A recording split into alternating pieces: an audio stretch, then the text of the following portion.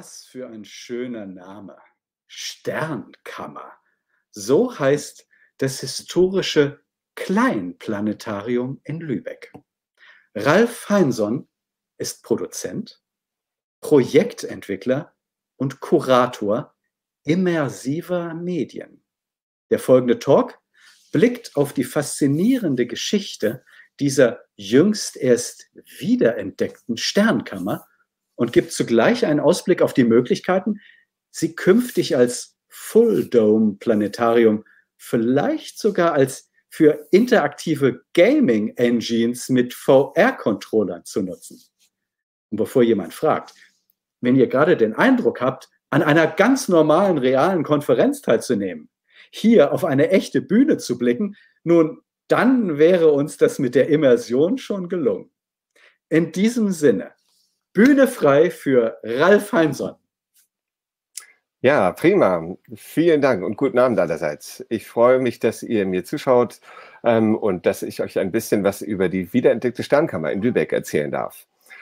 Ich werde jetzt in der nächsten halben Stunde etwas zu der Story erzählen und ein bisschen zu den technischen Entwicklungen und den Möglichkeiten ähm, und möchte natürlich auch ein bisschen global abholen, damit alle, die vielleicht nicht die typischen Planetariumsgänger sind, ein bisschen ins Thema reinkommen. Vielleicht erst einmal die Frage, was habe ich mit Planetarien zu tun? Was, wie kommt es jetzt zu dem Planetarium als solchen? Ähm, ich bin tatsächlich seit relativ vielen Jahren in der Planetariumswelt unterwegs, äh, arbeite seit einer ganzen Weile in der Experimente in Heilbronn. Das ist ein relativ junges Planetarium, was erst 2019 eröffnet hat. Das seht ihr links oben in dem Bild. Und äh, das ist eines der größten Planetarien in Deutschland und sogar auch Europa. Rechts daneben seht ihr ein mobiles Planetarium. Das ist eine mobile Kuppel, die ich im Rahmen eines Filmfestivals in der Stadt Lübeck betreue. Ähm, ein sehr klassisches Festival, was seit einigen Jahren einen Schwerpunkt auch für immersive Medien hat und diesen Bereich immersiver Medien auf dem Festival dort abbildet. Links unten seht ihr meine Kollegen von der Sternwarte Lübeck, deren, ähm, in deren Team ich auch seit einiger Zeit mit dabei bin und dieses Thema Astronomie, genau wie meine anderen Kollegen jetzt aus dem ähm, Talk-Panel Faszination Astronomie vertrete und mit Leidenschaft vorantreibe. Und rechts unten seht ihr als ähm, vierte Aktivität eben den Aufgang zur Sternkammer, die ich euch jetzt vorstellen möchte und was so ein bisschen Hobby und auch ein bisschen Tätigkeit für mich ist. Ich arbeite, wie gesagt, hauptsächlich in der Heilbronn, in der Experimenta und ähm, mit so circa einer halben Stelle und in der restlichen Zeit widme ich mich mit freiberuflichen Projekten und darunter eben ganz wesentlich meine Aktivitäten in Lübeck. Ich bin selbst ursprünglich mal Designer und habe ähm, in meinem Diplom mich sehr schnell darauf fokussiert, mit 360-Grad-Medien zu arbeiten tatsächlich hauptsächlich Video seinerzeit und dieser ganze Bereich Virtual Reality, Expanded Realities, das ist erst später dazugekommen. Und wie der Name ja schon sagt, Expanded Realities ähm, sind das sozusagen die Mediengrenzen, die überschritten werden. Und das werde ich hier auch, glaube ich, in meinem Talk ein bisschen detaillierter zeigen, warum mir das so viel Spaß macht.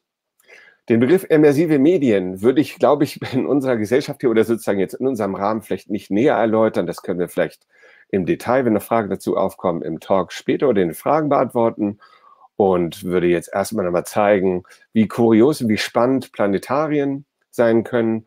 Dadurch, dass ich ja sozusagen für den norddeutschen Bereich hier auftauche, ist vielleicht auch die linke obere Ansicht ganz wichtig. Das Planetarium Hamburg, für mich sozusagen ein Sehnsuchtort schon aus der Kindheit.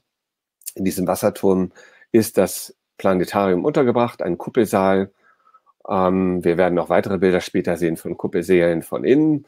Rechts oben fast genauso alt wie das Hamburger Planetarium, also quasi knapp 90 Jahre, das Planetarium Chicago. Und um auch zu zeigen, dass das Planetarium nicht nur eine Einrichtung der westlichen Welt ist, sehen wir unten rechts das äh, Planetarium in Beijing, eine wirklich sehr beeindruckende Installation und genauso spektakulär, wenn auch ein kleineres Planetarium. Äh, links unten die Ansicht aus Alexandria in Ägypten, was tatsächlich ein sehr, sehr spektakuläres ähm, Planetarium ist und hat ja auch so ein bisschen so einen leichten Star Wars-Flair.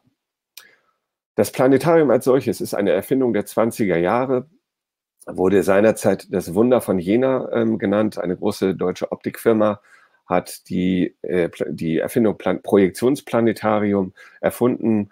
Die Idee war, dass man sozusagen einen Sternenhimmel und Planetendarstellung über einen Projektor, so wie man ihn rechts sieht, das Modell 1, ähm, in eine Kuppel projiziert und man sieht im linken Bildanteil schon, wie die Leute damals Schlange standen, um diese Sensation zu sehen. Das war das Werksgelände der Firma Zeiss. Ähm, huch, jetzt habe ich es doch genannt.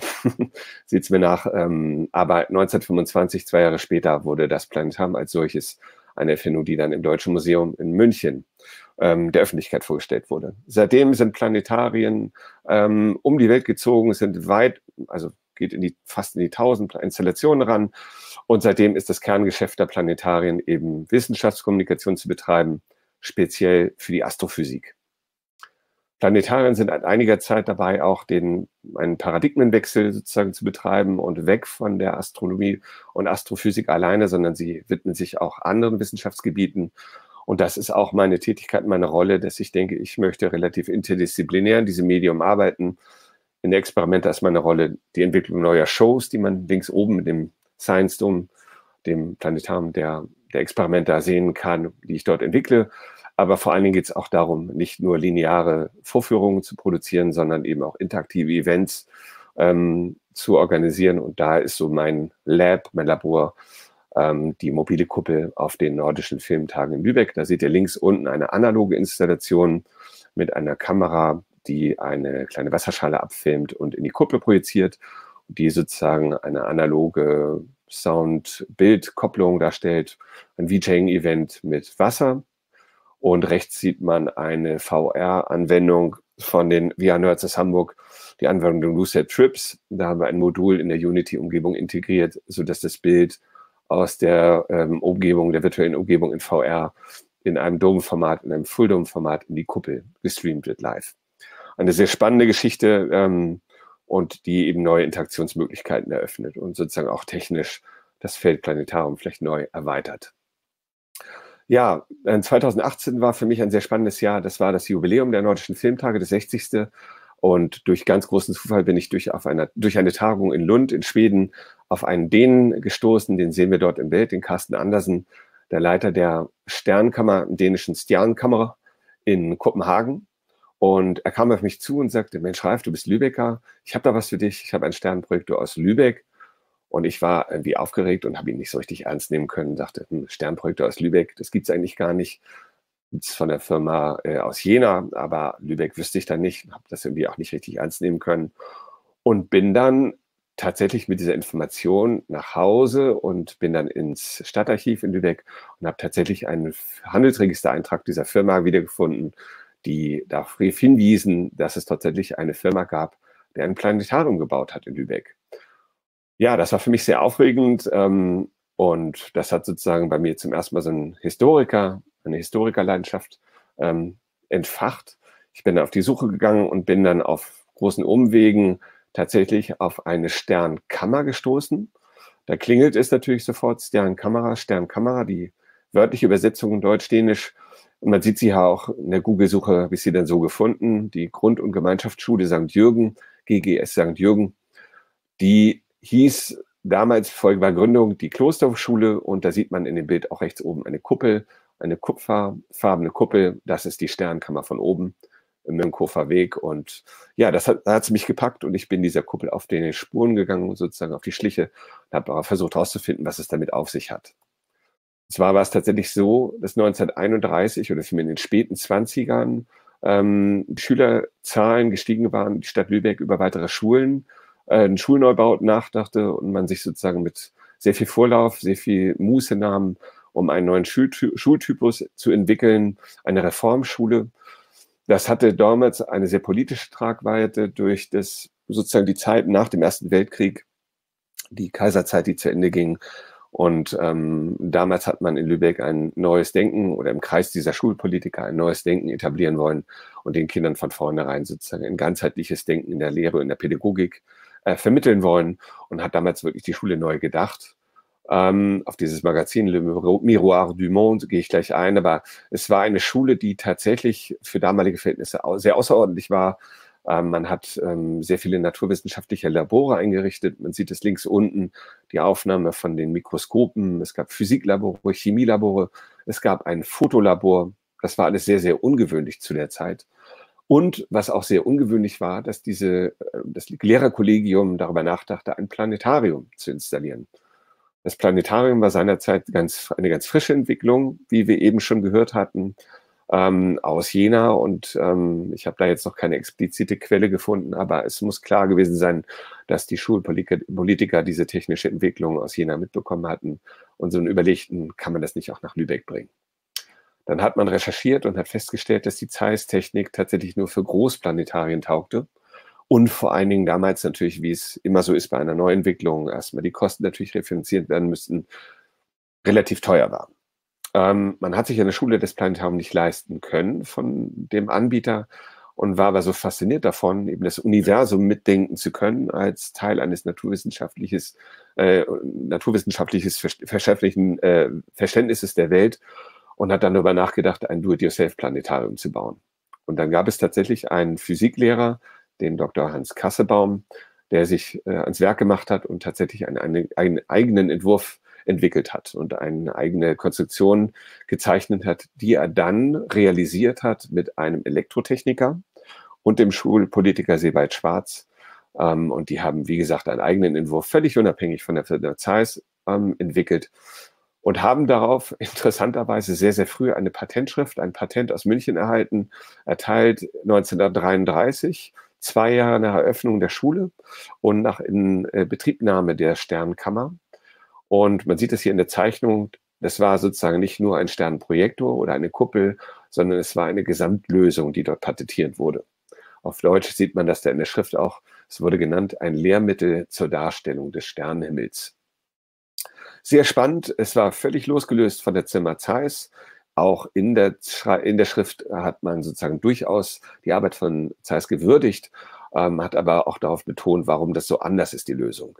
Und zwar ging es hier anders als bei der hochentwickelten Lösung von dem Optikhersteller darum, dass man nur eine Punktlichtquelle hatte. Die sieht man in der schematischen, technischen Zeichnung rechts oben im Bild. Ähm, und diese Punktlichtquelle strahlte durch eine Kugel. Im Englischen hat sich der Begriff Starball etabliert dafür und projizierte durch die Löcher quasi wie eine Lochkamera dann ähm, den Sternenhimmel auf die Kuppel. Da gehen wir später noch darauf, näher darauf ein. Hier sehen wir nochmal die beiden Entwickler, Dr. Hans Kassebaum, den Physiklehrer und rechts daneben den Elektroingenieur, Elektrotechniker Ernst Nachtigall mit einer Werkstatt in der Lübecker Altstadt. So sah deren Entwicklung dann nach Eröffnung aus. Dies ist hier ein professionelles Werbefoto, was erstellt wurde. Und man sieht links auch nochmal die, die Kugel, den Sternprojektor. Schwach kann man auch ein bisschen die Löcher in der Oberfläche erkennen. Und man sieht einige Schalter.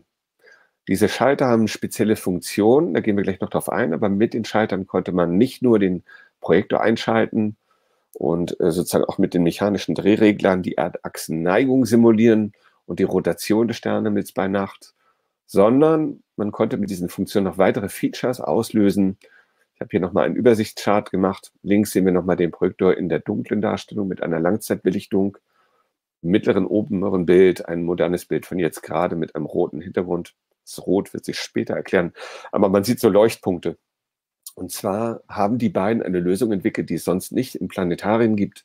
Sie haben in der Gipsoberfläche, das sieht man dann in dem rechten oberen Bild, kleine Leuchten verbaut die auch elektronisch schaltbar waren das sind, man könnte denken, LEDs, das sind sogenannte Telefonfadenlampen.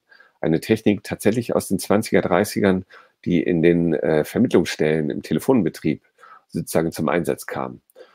Und damit konnte man links unten, springe ich zu diesem Bild mit den Drucktastern, jedes einzelne Sternbild einzeln statisch ein- und ausschalten und konnte sozusagen didaktisch den Kindern einmal über die selbst leuchtenden, die aktiv leuchtenden Lampen die Sternbildformation, die Sternbilder erzeigen. Und dann ging, so wie man das links oben sieht, der Sternenhimmel in der Dunkelheit an, in der Projektion über die Lichtquelle und dann konnten die Kinder quasi in dem kompletten Sternenhimmel das einzelne Sternbild suchen. Also eigentlich ein didaktisch sehr interessanter Ansatz. Ähm, ja, man hat auch eine Lübeck-Silhouette verbaut. Das ist sehr typisch für Planetarien. Das machen fast alle. Und rechts unten, das ist vielleicht auch eine vorausgenommene Antwort an eventuelle Fragen. Man konnte nicht nur die nördliche Halbkugel, also den Nordsternhimmel simulieren, sondern eben auch den Südsternhimmel. Es gab also Wechselkugeln, die man auf die Apparatur raufsetzen konnte, flexibel, um dann auch den Südsternhimmel zu simulieren. Was mir ganz wichtig ist zu betonen, es war keine statische Erfindung, die einmal eingebaut wurde und dann Betrieb war, sondern das war das Werk eines Enthusiasten oder von zwei Enthusiasten, ähm, die immer wieder dann weiterentwickelt haben. Das heißt, jetzt, wo wir, und darauf werde ich ja später darauf eingehen, wo wir sozusagen die Erfindung modernisiert haben, schreiten wir in der Tradition fort, die es schon immer gab. Links sozusagen in den 30ern die Inbetriebnahme mit vielen Schaltern, in der Mitte wurden dann einzelne Schalter in die Kuppelmitte gebracht, um eben diese kleinen Aktivleuchten, Leuchten über Schalter auch von der Mitte der Kuppel aus steuern zu können. Das Ganze hat dann nochmal ähm, in den 70ern, 80ern noch eine Holzverkleidung bekommen, wie man das im rechten Bild sieht. Das hat dann ganz extrem was mit der Akustik zu tun. Die Akustik in der Kuppel ist immer sehr besonders und dort hat man diese Holzpaneele verbaut, um die Schallreflexion ein wenig abzudämmen. Ja, dann springen, dann springen wir in die Jetztzeit sozusagen. Und wie gesagt, bin ich durch die Bekanntschaft in Dänemark ähm, auf diese historischen Wurzeln in Lübeck gestoßen, habe den Schulleiter, den man hier in dem Zeitungsausschnitt sieht, angesprochen. Der war ganz überrascht, dass sich da jemand installiert, äh, interessierte für diese kleine Sternkammer, die über mehrere Jahrzehnte, quasi 20 Jahre, einen kleinen Dornröschenschlaf hinter sich hatte. Ähm, und anlässlich des 90-jährigen Jubiläums der Schule und eines Schulneubaus, die man unten am Bildrand sieht, ähm, hat sich so eine Euphorie ergeben, dass er sagte, ja komm, dann gehen wir auch an die Sternkammer ran und gucken, was wir da an neuer Technik verbauen können. Der Schulleiter wusste von meinen Aktivitäten auf dem Festival mit der mobilen Kuppel und fragte mich dann, ob wir nicht das, was wir in der mobilen Kuppel auch in der festen Sternkammereinrichtung installieren könnten. Also eine digitale Fulldom, also Vollkuppel Videoprojektion. Dann muss ich noch ein bisschen ausholen. Wir waren zu zweit, man sieht uns im Bild Hintergrund. Ähm, es kam ein dritter wichtiger Akteur hinzu. Und zwar ergab es sich, dass ich bei diesen immer noch parallel weiterlaufenden historischen Recherchen auf die Nachfahren der ähm, ursprünglichen Erfinder des Hans, Hans Nachtigall und des Ernst, äh, Hans Kassebaum und Ernst Nachtigall stieß. Und hier im Bild sehen wir den Christian Kassebaum. Das ist der Enkel von Hans Kassebaum, ähm, der von dieser Familiengeschichte nur sehr oberflächlich wusste. Sein Großvater hatte wenig über die Sternkammererfindung sozusagen an Notizen hinterlassen. Und als ich ihn mit dieser Geschichte konfrontierte und vor allen Dingen auch den fachlichen Kontext dazu liefern konnte, war er sehr erstaunt und war völlig entfacht und ist tatsächlich seit Anfang dieses Jahr, diesen Jahres in Rente und suchte noch nach einem Hobby und äh, sagte, dass er sich sofort dafür engagieren wolle und ist mit ins Team eingestiegen und ist sogar so weit gegangen, dass er uns einen Teil der neuen Technik ähm, finanziert hat, einen digitalen Projektor, auf den wir gleich eingehen werden. Und so hat sich dieses Dreiergespann aus dem Stefan Papst, dem Schulleiter der GGS, den wir in der Mitte sehen, dem Dr. Christian Kassebaum im linken Bildrand, äh, dem Enkel des einstigen Erfinders und mir in der Mitte ähm, ergeben. Und dann haben wir jetzt in den letzten anderthalb Jahren dieses Projekt digitalisiert. Das Ziel dieser Weiterentwicklung war, dass man schon durchaus den alten historischen Projektor erhält in voller Funktionalität und das auch nicht nur wegen des Denkmalschutzes, sondern weil der eine Faszination ausstrahlt, die begeistert wirkt und wir wollten ein System entwickeln, sodass gleichzeitig ein Videoprojektionssystem dafür sorgt, dass die Kuppel mit digitalem Bild versorgt wird. Da haben wir ein Einkanalsystem gewählt, ähm, anstatt einer Mehrprojektorlösung. Und wir wollten einen Media-Server einsetzen, mit dem wir sehr variabel sind und alle möglichen Videosignale sowohl linear über Zuspielung als auch interaktiv hinzugeben können. Wir haben auch gesagt, wir möchten die ganze Elektrik, alles, was an Lichtern da ist, über eine KNX-Steuerung ähm, schaltbar machen, also quasi wie im Smart Home über ein Tablet steuerbar machen. Und die Kuppelrandbeleuchtung im Englischen, der Begriff Cufflight, auch da waren alte, Neonröhren waren es nicht, aber alte Leuchten aus den 60ern, die wollten wir durch eine RGB-LED-Wand ersetzen. Und es sollte Sound hinzukommen, denn das ist ja wichtig zu wissen. Es gab, da, gab damals quasi nur die Vortragssituation. Ähm, audiovisuelle Medien wurden ja nicht wiedergegeben, insofern brauchen wir auch Sound. Was ganz wichtig war, diese Technik sollte so einfach sein, dass man ein Schulkollegium mit Lehrerinnen und Lehrern, die im Alltag einfach auch sehr beschäftigt sind, nicht nur erst in Corona-Zeiten, sondern auch davor mit der Unterrichtsvorbereitung. Und wir wollten ihm sozusagen eine Technik an die Hand geben, dass eben sofort losgelegt werden kann und dass die ganze Technik leicht zu bedienen ist. Das war das Wichtigste. Einfach zu lernen und einfach zu bedienen, leicht zu lernen, dass es auch wirklich benutzt wird. Hier sieht man ein paar Bilder vom Umbau. Wir sind an den Boden. Wir haben dann sozusagen erstmal suchen müssen, wo die alten historischen Leitungen lagen. haben einen alten Sockel gefunden, den wir entfernen mussten, denkmalschutzkonform zum Glück, haben dann diese Wechselmechanik entwickelt, auf die ich gleich noch eingehen werde. Wir haben Sound installiert und haben uns, wie gesagt, sehr, sehr umfangreich um diesen Umbau bemüht und haben versucht, alles so dezent und minimal invasiv zu lösen, wie nur irgendwie möglich, sodass der Charme und der Look im Prinzip wie anno dazu mal bleibt und man im Prinzip eigentlich nur den neuen Projektor als Zusatzelement wahrnehmen kann. Ja, hier sieht man das fertige Ergebnis. Ähm, und man sieht eben, die alte, der alte Projektor steht noch auf dem neuen Sockel. Man sieht dieses Rad. Und mit diesem Rad kann man den alten Projektor nach unten drehen und den neuen nach oben. Das werde ich gleich zeigen. Und ähm, sie zeigt hier einmal eine schematische Darstellung in Einzelbildern. Wenn man jetzt dieses Steuerrad dreht, kann man den alten Sternenprojektor, den Starboy, nach unten drehen. Der geht nach links weg. Und von rechts kommt dann der digitale Projektor ein relativ großes Gerät, einfach aus dem Eventbereich mit sehr viel Ansilumen, sodass wir auch stereoskopisch projizieren könnten, ähm, kommt dann nach oben. Es gibt eine Sperre, das kleine rote Pedal, was ein bisschen an Nähmaschine erinnert, ähm, sorgt dafür, dass die Welle in der Mitte blockiert wird, sodass das Ding nicht einfach durchrauschen kann. Sozusagen, dass es ein kontrolliertes Wechsel der Kanäle ist. Hier sieht man dann mal, wie es aussieht, wenn man eine digitale Projektion in diese alte Kuppel rein projiziert. Man sieht auch noch die kleinen Punkte, die kleinen schwarzen, falls man das erkennen kann über den Stream. Dort sind die kleinen Aktivleuchten immer noch nach wie vor erhalten und das Videobild überlagert sich auf dem Screen. Hinzugekommen ist auch in einer Nische, die kurioser wie dafür, kurioserweise wie dafür gemacht, sozusagen noch den Platz dafür bot, ähm, einen alten historischen Tisch, den wir im Keller der Schule gefunden hatten, dazu zu stellen. Und auf dem steht ein Rechner, quasi unser Media-Server, mit einer eigens entwickelten Software, über die wir eben alle Videosignale in unterschiedlichsten Formaten und Anwendungsnotwendigkeiten in die Kuppel reinprojizieren können. Und das kreisförmige Grid deutet sozusagen das Kuppelbild an. Ja, auch die Schaltung, die Kinetic-Steuerung ähm, der Elektrik und der Lichter läuft über das Tablet. Hier ist auch eine Anwendung aus dem Smart Home Bereich customized worden. Da sieht man sozusagen, dass man alle Sternbilder von diesen kleinen Aktivleuchten oder eben auch links oben den alten Sternprojektor ein- und ausschalten kann. Das heißt, das, was man früher in diesen, vielleicht erinnert ihr das noch, in dieser historischen Phase hatte über diese ganzen Bakelitschalter oder über die Drucktaster, das geht jetzt alles über die Tablet-Steuerung oder redundant, falls das Netzwerk mal ausfallen sollte, über ein Tasterfeld, so dass wir tatsächlich, da sieht man auch noch die historischen, dieses historische gravierte Schild mit der Gravur, da sieht man die ganzen Sternbilder, die auf den Tastenbelegungen liegen. Und das kann man eben, wie gesagt, auch ohne das Tablet machen, aber es hat natürlich eine gewisse Eleganz, weil man hier sieht man nochmal das Tablet halt eben auch die Lichter, die Kuppelrandbeleuchtung ein- und ausschalten kann und auch den Videoprojektor steuern kann, Inputsignale und so weiter.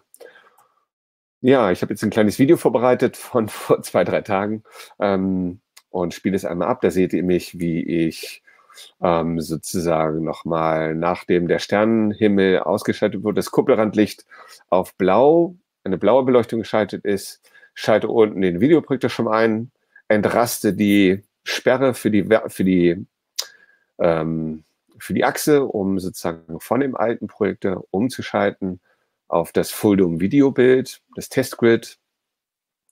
Und das geht jetzt nach oben. Ihr seht das ja, der Aufwand der Kaufaufwand, der hält sich in Grenzen. Das ist sehr fein austariert, so dass es eben wirklich von allen Lehrkräften gut gemacht werden kann. Und ich gehe jetzt gerade aus dem Bild raus, bin in der Nische, fahre das Carve-Light runter und starte eine Full-Videosequenz und Jetzt habe ich mit dem Handy einfach mal ähm, reingefilmt in die Kuppe, so dass ihr so eine leichte Ahnung dafür bekommt, wie es sich anfühlt, wenn man jetzt in dieser vier Meter Kuppe stehen würde und das Videobild wahrnimmt. Ich glaube, dass die Zeit so ein bisschen voranrauscht, deswegen springe ich mal ein bisschen in diesem Video. Ihr seht auch 360 Grad Videoaufnahmen, die mit einem 360 Grad Rig aufgenommen wurden, die auf Kuppel angepasst wurden. Ähm, mehrere CGI-Szenen, ja, springt ein bisschen, sind also sozusagen nicht nur astronomische Darstellungen, sind ganz viele Themengebiete. Hier ist es so klar, sind ein kleiner Trailer von verschiedenen Themengebieten, die dann in der Schule relevant werden. Und sozusagen, es sind nicht nur Wissenschaftsdarstellungen, sondern man kann auch Kunst, Musikvideos, ja, Gaming gehe ich gleich noch vielleicht drauf ein, also alles Mögliche damit machen. Ähm, und man kriegt, glaube ich, ein Gefühl dafür, wie es sich anfühlt. Ist natürlich immer über die Videostream nicht ganz einfach. Normalerweise hätte ich jetzt gesagt, kommt vorbei. Das werden wir vielleicht in der Diskussion später thematisieren, wie wir vielleicht mal da vorbeischauen können. Gut, ich springe nochmal weiter. Was sind die Anwendungen, die wir dort nutzen wollen, jetzt in der modernisierten Sternkammer? Natürlich soll der alte Sternprojektor weiterhin nutzbar sein. Ähm, wir möchten die aktiv leuchtenden Sternbilder über diese kleinen Telefonfadenlampen nach wie vor nutzen für didaktische Zwecke. Fulldom-Videos sowie eben sollen abgespielt werden können. Das sind sozusagen Planetariumsfilme, die es in relativ großer Anzahl auch schon gibt zu verschiedenen Wissensbereichen. Ähm, natürlich ist es die Sternkammer ein Planetarium, das heißt auch dort nutzen wir Planetariumssysteme oder Planetariumssoftware. Stellarium ist da so ein Klassiker ähm, oder Worldwide Telescope, ähm, Open Space, da gibt es verschiedenste Anwendungen. Ein guter Freund Bastian Barton, der vielleicht auch dabei ist heute, der ähm, hat da federführend mir geholfen, bei diesen ganzen Anwendungen die auch mit anzupassen. Ähm, ja, er hat sozusagen auch mir dabei geholfen, dass man eine Live-Projektionsgeometrie anpassen kann, sodass ich auch äquirektangulare Videofeeds reinschleusen kann, die man sonst nur für VR ähm, Head-Mounted Displays nutzen würde oder für 3D-Touren, äh, 360-Grad-Touren, dass die live auf die Kuppel umgerechnet werden. Ich kann aber auch Standardbilder, 4 zu 3 Videos, 16 zu 9 Videos, Websites anspielen. Ähm, über die NDI-Streams kriege ich ja im Prinzip eh alles rein, auch 360-Grad-Streams, die es gibt. Ähm, ja, und wie gesagt, und wenn man halt auch Game Engines hat, zum Beispiel in Unity gibt's von Bastian ein sehr schönes ähm, Plugin, um aus einer 360 oder aus einer 3D-Szene heraus einen Fulldom-Livestream rauszuschicken. Und dann kann man eben aus einer Gaming-Situation über Unity ähm, ein Fulldom-Bild rausschicken und das in der Sternekammer abbilden. Und so lässt man lässt sich dann halt eben auch aus VR-Themen oder jeglicher 3D-Anwendung ein Live-Bild und zum Beispiel aus einer interaktiven Situation, aus einem Game heraus in die Kuppel bringen. Controller installieren, Lighthouses installieren, schon geht das halt auch ganz gut. Ähm, man kann auch ganz klassisch ein Video in über eine Capture Card, über einen HDMI-Stream reinholen, wenn man oldschool irgendeine Kamera zum Beispiel nutzt. Ja, für die Schule ist das natürlich toll, weil jetzt neben dem Astronomie-Thema der Physik ganz viele andere Sachthemen hinzukommen. Natürlich auch das Thema Informatik und Gaming spannend wird, Kunst, Musik, Sachkunde, Biologie. Also wirklich alles, was in Schule stattfindet. Selbst Theater, Sport ließe sich sozusagen dann realisieren. Also da sind wirklich der Fantasie überhaupt keine Grenzen mehr gesetzt. Ähm, und das soll auch dazu führen, dass eben Schüler selbst aktiv werden. Wir werden die AGs in der Sternenkammer, die Schul-AGs sozusagen ausbauen, sodass auch Schüler führen können. Ähm, es gab schon ein Videoprojekt mit einer virtuellen Tour in Zeiten von Corona, wo die Kinder der Schule virtuelle Touren gedreht haben. Auch die konnten wir eben in der Zweitverwertung in der Sternkammer einsetzen. Und was vielleicht nochmal ganz spannend ist, ist es natürlich auch die Kooperation mit der Sternwarte, deren Team ich ja auch bin oder sozusagen deren Mitglied ich bin. Ähm, und es ist halt eben auch für uns in der Sternwarte total spannend, dass wir die Astrofotografie, die dort entsteht in der Sternwarte, jetzt adäquat präsentieren können. Hier die Aufnahmen der Kollegen von Oliver ähm, und auch die Milchstraßenaufnahme was natürlich auch total toll ist, wir haben eine neue Kuppel in der Sternwarte, die ist in 360 Grad abgefotografiert. Ich habe es jetzt hier umgerechnet mit der Klappenöffnung und so seht ihr eben dann halt. Ja, ich bin auch so gut wie durch. Hier seht ihr sozusagen die Reprodu das Replika der Sternwartenkuppel, ähm, die Darstellung ins 360 Grad Foto oder beziehungsweise Video als Standbild und was ganz spannend ist, wir haben jetzt auch sozusagen nochmal vernetzt. Es gab eine Tagung der Nordic Planetarium Association. Wir haben schon sozusagen Gäste aus dem nordischen und baltischen Bereich, also analog zu einem Filmfestival der nordischen Filmtage, zu Gast gehabt, ausgerichtet als Sternwartenteam. Danke auch nochmal an die ganzen Kollegen und Kolleginnen, die da total super das gemacht haben mit mir zusammen. Ja, und in zwei Jahren wird das 100-jährige Planetarium, 100 Jahre Planetarium stattfinden und da wird die Sternkammer natürlich eine besondere Rolle spielen, weil sie bisher auf der Landkarte der internationalen Planetariumsgemeinde noch überhaupt nicht erkannt wurde. Ich Allerletzte Charts. Ja. Das ist das Ziel, soll für alle Lübecker zugänglich werden. Vielen Dank für eure Aufmerksamkeit. Vielen, vielen Dank. Ich wünschte, dass äh, bei einem Besuch äh, eines Planetariums eurer äh, Möglichkeiten. Die Zeit so schnell vergeht wie bei diesem äh, Vortrag, in dem wir, ich glaube, sehr viele äh, gebannt zugeschaut haben. Habe vielen, vielen herzlichen Dank. Leider im, im Gegensatz zum Planetarium können wir dir noch keine Immersion darüber vermitteln, dass jetzt viele Leute dankbar klatschen und mit offenen, hellen Augen äh, dir fasziniert gelauscht haben. Vielen Dank dafür. Und als Feedback, als direktes Feedback, als erstes Feedback, als intensives Feedback kam zuerst dickes Lob an den Vortragenden. Klasse Vortrag. Das ist das Erste, was uns erreicht hat. Und weitere nach und weitere interessierte Nachfragen. Äh, zum Beispiel, weißt du, was du zum Schluss alles so gesagt hast, und ich habe gerade Riesenlust bekommen, endlich mal wieder ins Planetarium zu gehen. Das hat das schon mal bewirkt. Ähm, Sehr schön. Welche anderen Welten, du hattest ja so ein bisschen was erwähnt, welche anderen Welten könnt ihr denn tatsächlich, äh, ja, wie Illusionsmagiker uns auf die Netzhaut äh, versprechen? Also im Prinzip, die Frage ging an mich, denke ich mal jetzt gerade. Die, also vielleicht vorab nochmal vielen Dank für die Möglichkeit, darüber reden zu können. Das ist natürlich eine tolle Ehre und ein Riesenspaß, das hier in dem Forum machen zu dürfen. Das vielleicht nochmal ganz wichtigerweise vorab und auch danke für die nette Rückmeldung ähm, also was kann man in der Sternkammer machen? Es ist ganz schwer zu limitieren.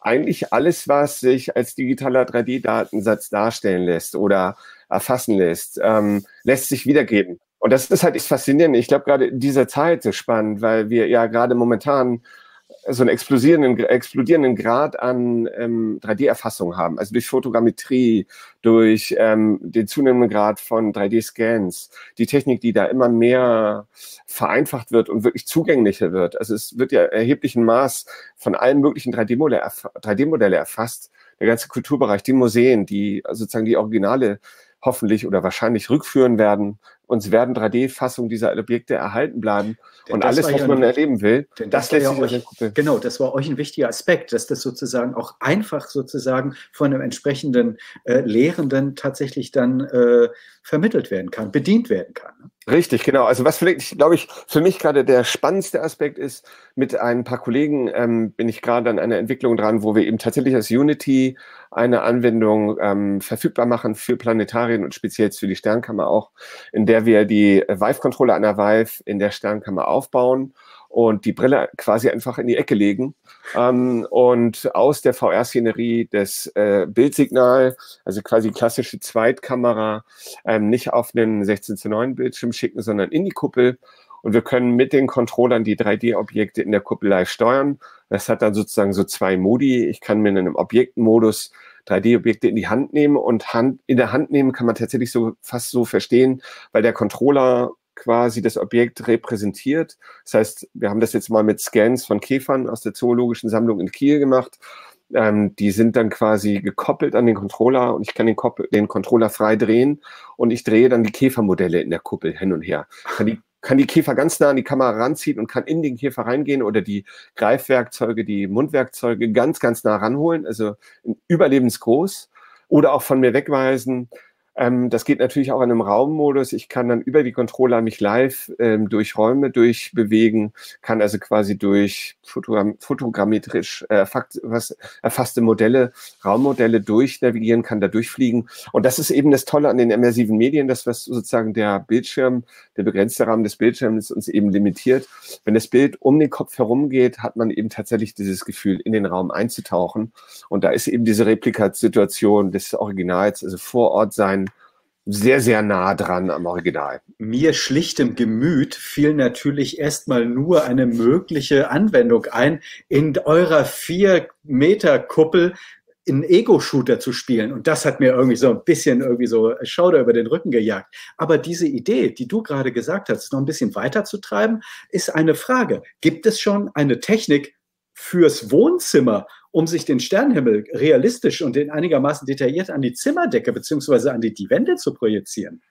Naja, im Prinzip, also gibt es, das ist jetzt gar nicht so neu. Ich denke mal, dass man über so ein Multiprojektor-Setup halt im Prinzip eigentlich, wie man es aus der Fassadenprojektion erkennt, in einem Wohnzimmer auch ganz schnell einen Cave aufbauen könnte. Da sind ja tatsächlich so Blending-Systeme, um diese Überlappung der Bildprojektion gut zu verrechnen, tatsächlich relativ low-cost verfügbar. Und dann kann man, hat man zwar keine Kuppel und keinen kugelförmigen Raum, hat dann eben den, den quaderförmigen, den kubusförmigen Raum, Ähm, also solche Anwendungen gibt es ja auch im universitären Bereich seit einigen, einiger Zeit, diese Cave-Lösungen, ähm, die sind genauso immersiv. Das Schöne an der Kuppel, und das ist sozusagen mein Plädoyer für die Kuppel statt des Quaders, ist, dass die Ecken halt eben nicht sichtbar werden. Und ähm, im Wohnzimmer wird dann halt in den Raumecken durch die Projektion auf den Ecken die Illusion ein bisschen begrenzt. Die ist in der Kuppel etwas stärker, dadurch, dass der Raum sich stärker auflöst.